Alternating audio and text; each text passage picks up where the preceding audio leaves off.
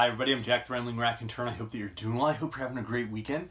The library tour is continuing as we head towards what's sort of an anomaly of a shelf in my family library. And that's because almost nowhere are books organized alphabetically. Uh, sometimes to the displeasure of my wife or I, but we, we always find what we're looking for. Um, but usually it's organized by publisher and that's so that we can front and back double stack the books and if they're the same publisher, the same size, and it creates like nice space efficiency. Uh, but there's this one anomaly of a shelf where we don't have enough books from any one publisher, and so they're grouped together, and a bunch of them start with the last letter W. So we've got P.G. Wodehouse, we've got Virginia Woolf, we have uh, the Richard Wilbur translations of Racine and Moliere, and then we've got this other writer mixed in there. So let's explore. We'll start off with Virginia Woolf and the great Mrs. Dalloway, a modernist masterpiece, maybe my favorite modernist book to read. Um, it's just such a, it's such an inventive book. It is playful. The way in which Woolf is just fluidly jumping from mind to mind for her characters, um, and it's for me it's a calming book, despite the personal and you know personal tragedies of the characters, the public tragedy of you know what's going on within the book. Um, it's it's a pleasurable book to read. I reread it in March, and uh, it was it was just fantastic to jump back into it. Um, up next, we have To the Lighthouse, often sort of contending with Mrs. Dalloway in terms of what people are, you know, like pushing up as the best Virginia Woolf novel. Uh, and this is a fantastic book as well. I, I think I enjoy Mrs. Dalloway more, but To the Lighthouse is just an absolutely amazing book and one that I highly, highly recommend. Again, deep into modernism, steeped in it. And then Between the Acts, a later book, um, published in 1940 or 1941, I can't recall, but um, a, a book that feels much more formal in terms of not just its structure, but the narrative, the ways in which Woolf is being experimental feels more formal and consequently less fluid. Um, and so th this isn't a book that I absolutely love the way that I absolutely love Mrs. Dalloway to the Lighthouse, but it, it's a fascinating book and it's a, it's a really interesting book to read and to, to see Virginia Woolf trying something a little different from some of her other books. Uh, but again, another great book. And then we have her essays, and I'm a huge proponent of the essays of Virginia Woolf. I want to like collect all of them and read all of them. The best of, many of the best of them are in The Common Reader. But she was writing essays and criticism and reviews and like almost short little notices for all sorts of works, um, not just fiction, across decades. And many of many of her ideas around fiction, around writing, around humanity, um, are all just filling these essays, and, they're really fascinating. Um, and she's just a tremendous writer in every respect. It Doesn't matter what what form her writing is taking. She's a beautiful and amazing writer. So volume two is 1912 to 1918. This is a great volume. Uh, it really is sort of the um, the rising action for Virginia Woolf in terms of her mind as a critic, her mind as a writer, uh, and, and, and the ways she's we can see her probing and exploring what it is she loves about writing, what it is she loves about literature, uh, what it is she loves about you know the, the, expression of the human consciousness and artistic expression, and how she's finding her way um, towards you know the the summits she's going to attain as a writer, and summits that she very much reaches within Volume Three, uh, 1919 to 1924. Just this, of course, parallels uh, you know her writing as she's Mrs. Dalloway is is being released and such um, towards the end of this, but it's it's a fantastic volume of essays and one that really does illuminate um, not just her nonfiction but modernism as a whole. And then of course there are the letters of Virginia Woolf. So I have volume two here, uh, 1912 to 1922, and then volume three. 1923 to 1928, fabulous letter writer. These illuminate, you know, her writing and, and the, the thought behind her criticism and essays, but they're also uh, there's a different sensibility within them. Whereas in Mrs. Dalloway, she's such a confident writer, and as a critic, she could be a very confident critic, and she just moves with with this sense of, of, of absolute perfect, you know, placement within within her space and her time, and she gets that. Within the letters, we see a very different person. We see the very personal Virginia Woolf, um, but we also see the passionate Virginia Woolf. Um, the, the, way she interacts with uh, her husband Leonard, um, and also then Vita Sackville West. Th those letters are, are very illuminating in terms, again, of a different side of who she is. The doubts she had around um, Mrs. Dalloway and, and the revisions she was working on. It's great to have those. So that's the first of our great W writers. And then you're going to notice we have that anomaly I mentioned, and that's because this writer shares a publisher with Virginia Woolf. I mentioned that we, we organized by publisher. That would be the great Italo Calvino. So, The Non Existent Knight and The Cloven Viscount, two sort of novellas, each of which is amazing. Um, the Non Existent Knight is this almost postmodern parodistic send up of the chivalric ideal, the great crusader Middle Ages knight. Um, and it's just fascinating. The it, you know, there's this amazing uh, female character within it who might be a great warrior. We don't know. Um, and it, it's just it's a really fun book to read. The Cloven Viscount is pretty scary.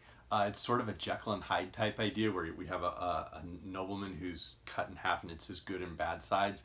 And it, it goes to some frightening uh, places, but it's interesting how Calvino ties it together at the end um, in, a, in a very interesting way. Then I have The Baron in the Trees, which comes highly recommended from Tom Ellie Books. Uh, this is actually purchased for me by my wife. And so I look forward to reading this very soon.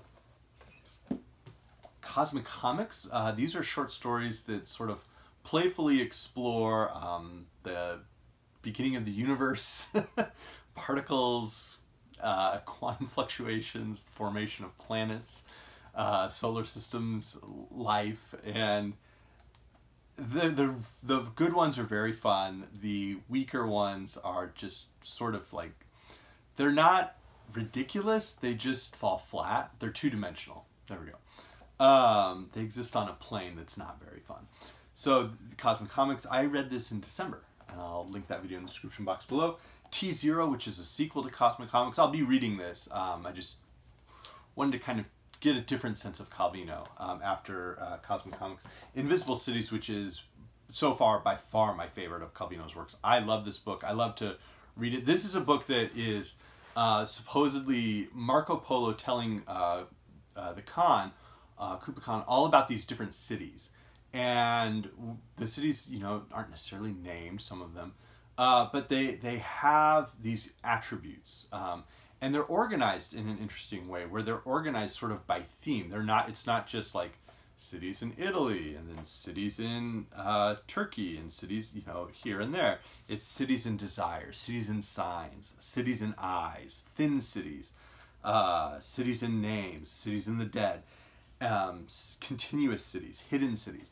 And so those themes are interesting. And so I, I've read this book more than once and I've read it like straight through, but I've also done sort of a Julio Cortazar hopscotch type thing where I go and read uh, the first uh, cities and memory and I read all of the cities and memory stories. So one, two, three, four, five, and work through all of the cities and memory. And then after that, it's cities and desire. So I read all of the cities and desire um, sections, and you can do that. It's it's numbered sort of on the right for you to be able to identify what what the um, order is of those themes and read it, and that gives a very different sense uh, for the book. So I love this one. It's it's my favorite Calvino. And then if on a winter's night a traveler, the hyper postmodernist experimental avant-garde where there's the sort of parallel you are reading a book by Italo Calvino uh, and then alternating with the narrative of this book that the reader within the novel is supposedly reading. Um, so fascinating. And then uh, more um, stories from Calvino, Difficult Loves, not uh, not supposedly dealing with physics and astrobiology and thermodynamics and such, the way Cosmicomics and T Zero are, but more just uh, some, somewhat fantastic, somewhat fabulous, uh, magical real um, stories. So that was our interloper. And then we have the Wilbur translations. And Richard Wilbur was an amazing uh, poet in uh, here in the in English, but he was also an amazing translator of French drama, specifically Jean Racine and Moliere.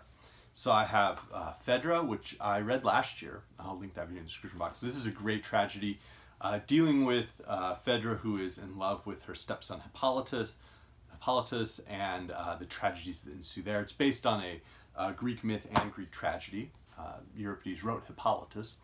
And then we have uh, Andromache. Uh, this one is dynamite. I think this this play by Racine, this tragedy, and the translation by Wilbur are fantastic. I think this is the first Richard Wilbur translation I ever read, and I absolutely loved it. Um, so this takes place after the Trojan War. Andromache is the widow of Hector. Uh, you know, she's seeing the butchery of Trojans, including Trojan children, and now she is trying to sort of find a way forward for her, for her her daughter, um, as you know, absolute slaughter has been enacted around them, and the ultimate, you know, Greek tragic elements that occur. Uh, again, based in Greek myth, but what Racine does and what Wilbur then does for Racine's poetry to bring it in translation is amazing. Um, from Moliere, we have The Misanthrope, which is great. And then Tartuffe, I read, I read Tartuffe last May, uh, May 2020, so I'll link that in the description box below. These are two of probably Moliere's best plays. Um, certainly The Misanthrope is, is an absolute masterpiece and, and manages to be quite funny.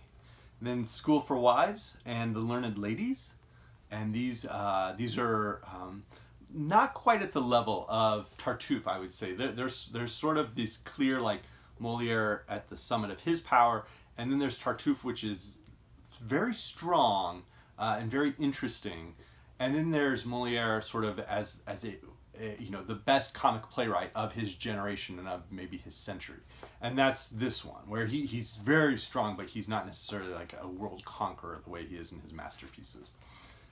Um, and then Don Juan, which I have not read but could be on that like pantheon list. I'm lo certainly looking forward to reading this. Uh, then we have the last of those great W writers, P.G. Wodehouse. So the World of Jeeves, this is a great publication that collects um, all the short stories. So those are, I'll show a later um, publisher series, uh, but those are fantastic. They sort of set the template for Jeeves where Bertie Wooster and uh, his uh, valet Jeeves. Wooster is this wealthy young man who's an absolute fool, who doesn't want to get married, who's in and out of love.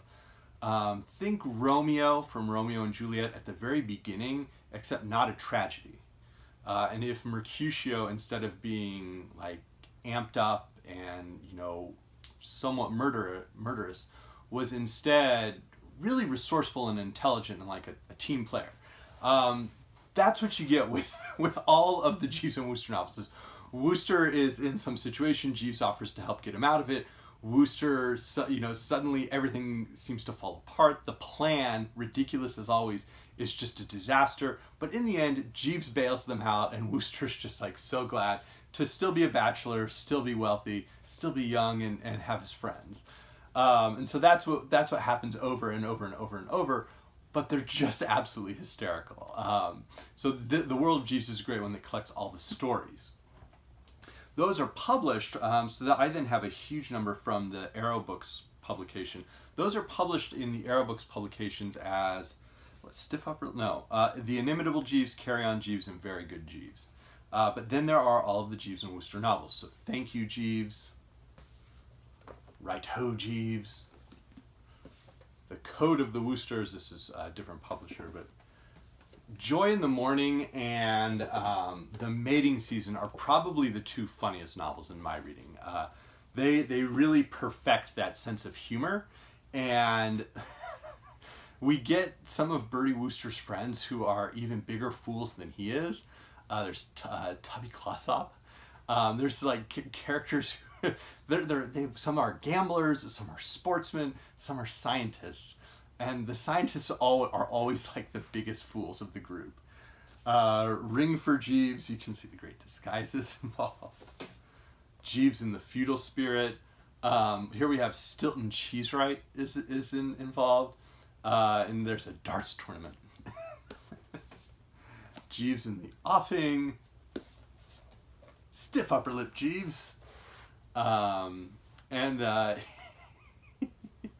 there's an er errand of mercy, uh, Gussie Finknottle, the Reverend Stinker Pinker, uh, and Sir Watkin Bassett JP, enemy to everything the Woosters hold dear, to say nothing of his daughter Madeline and Roderick Spode, now raised to the peerage. And so there are, while many of the characters remain the same, like, you know, fools throughout the books, there are, like, characters around them who change. Um, notably, Bertie's aunts uh, changed. And then uh, Much Obliged to Jeeves. Aunts Aren't Gentlemen, the last of the great Jeeves and Wooster novels from Wodehouse. And then I have one standalone, um, Piccadilly Jim, which I think is very funny. It's it feels different. It, it feels Piccadilly Jim is very the character um, uh, Jimmy Crocker. He feels like a Bertie Wooster, but he doesn't really have a Jeeves to go with them. Um, and he he's this one maybe feels like it could have been influencing uh, Kingsley Amis a little bit more um, than just the the Jeeves and Wooster novels. I don't have the Blandings novels. I don't know if those are any good. I'm sure they're excellent. I've just never read them. And then I do have one Sebastian Faulks, um, Jeeves and the Wedding Bells. But to finish off, I also have uh, the dark version of the Jeeves and Wooster series, which is the um, Charlie Mortdecai books by Kyril uh, Bonfiglioli. Uh, so don't point that thing at me. Uh, Something Nasty in the Woodshed, After You with the Pistol. And these are books uh, where we have a sort of a little bit older man. He's not quite as young as Bertie Wooster, uh, who's not necessarily like a, a, a great guy. Um, Charlie Mortdecai's not. He, he's a bad dude. Uh, but he also he's involved in like like Wooster wants to pull off some romantic conquest for his friend, or he wants to make a killing on a boys' foot race type thing. He's not actually perpetrating art thief, art, art um, theft, or uh, like you know mass embezzlement or anything. Uh, Charlie Mortdecai is involved in pretty bad stuff, uh, but he also has a manservant who is terrifying. Uh, Jock Strapp. Jock Strapp is Jeeves uh, if Jeeves had done some time in like uh, the special forces or something. That's he he has the efficiency, the ability to think on his feet and get through any situation that Jeeves does, but he's also like a stone cold killer, unlike Jeeves. So uh, these books are sort of interesting, um, also sort of terrifying. So that was the W shelf. I guess that's what I'll dub it. And I don't know where we'll be next weekend. So again, I hope everybody's doing well. Thanks.